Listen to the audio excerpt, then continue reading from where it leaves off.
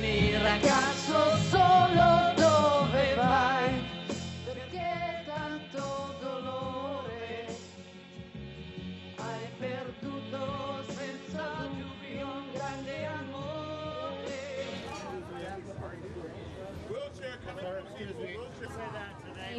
Lauded as a luminary of European cinema, Look! who created dazzling, complex worlds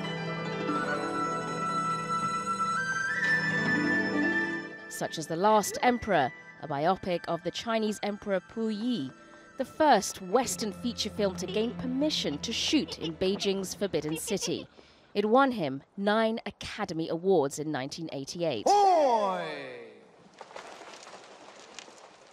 While he worked with A-list American and international stars, Bertolucci was fiercely protective of his own filmmaking style.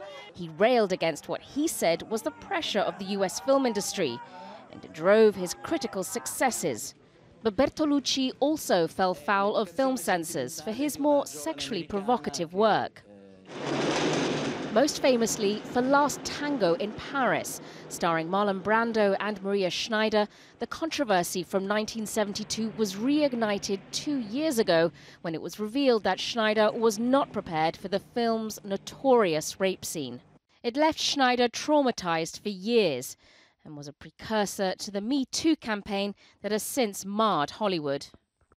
Bertolucci's films were awash with his own psychoanalytical experiences a director whose first love was poetry. The Cannes Film Festival paid tribute to him, calling him a giant of Italian filmmaking, part of the pantheon of cinematic greats. Sonia Gallego, Al Jazeera.